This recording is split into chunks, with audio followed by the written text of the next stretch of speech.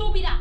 ¿Qué te dije de esas greñas mugrientas en la oficina? ¿Cuándo vas a entender que ese pelo piojoso le da mala impresión a la empresa? Ay, ya sabes que déjame trabajar tranquila.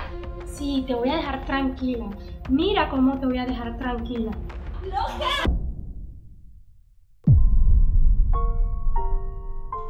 Buenas, qué pena por llegar tarde. Es que esto es demasiado grande y me perdí. La supervisora me dijo que, que este iba a ser mi área. Y bueno, gusto, soy Victoria, la nueva. Mucho gusto, Marlon. Ah, eres la nueva.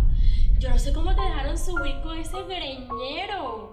Gio, pareces una loca. Te ves horrible y hasta feo debe oler. Te voy a decir una cosa. Si vas a estar en esta oficina y a compartirla con nosotros, recógete ese greñero porque me vas a pegar los piojos. ¿Cómo se te ocurre tratar a la señorita de esa manera? No me parecen de buen gusto tus chistecitos. Más bien, bienvenida a esta empresa, señorita. Yo le ayudo. Gracias.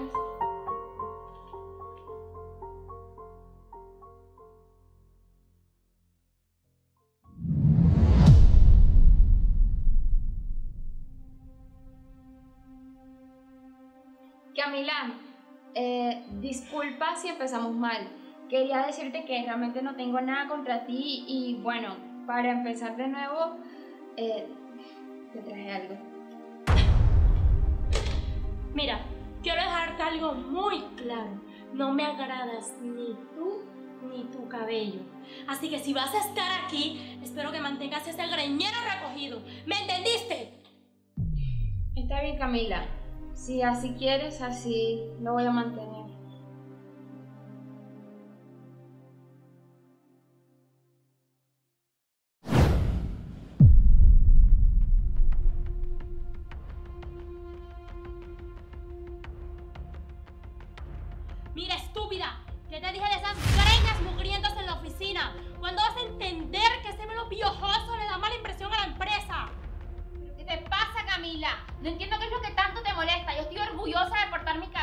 A ti no te guste no es mi incumbencia. Ay, ya sabes que déjame trabajar tranquila.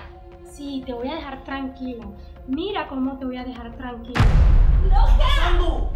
¿Qué haces? Déjala en paz. Deja la locura, estás enferma. Tranquila, amiguita. Todo va a estar bien hoy, que esto no se quedará así.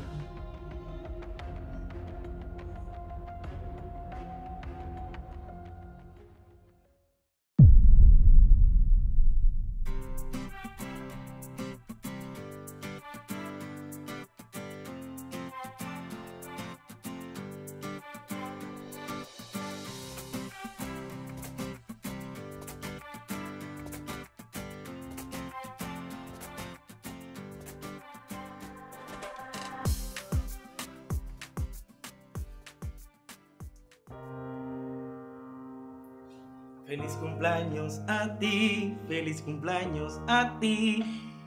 Mira, sé que no es mucho tiempo que vamos acá, pero quise hacerte algo bonito. Ay, gracias. Realmente te has portado demasiado bien conmigo. Y eso no es todo, te tengo otra sorpresita. Déjame aquí, ¿Sí? vaya.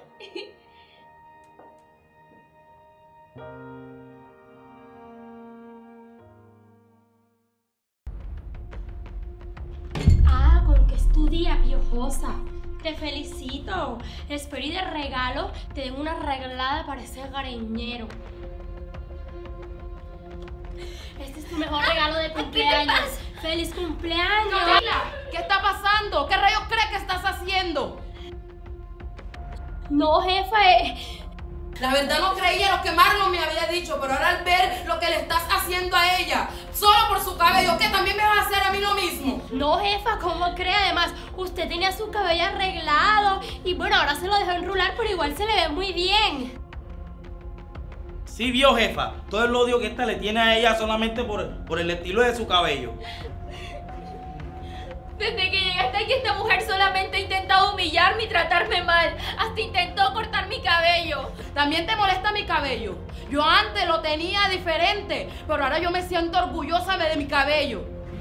No, jefa, sí, sí, tiene razón. Discúlpeme, jefa, por favor. Lo siento. Yo te acepto las disculpas, pero ahora vas a agarrar tus cosas y te vas a largar de aquí, porque no voy a aceptar nada de eso en mi empresa. Y no te preocupes que la liquidación te la voy a hacer llevar. Lárgate.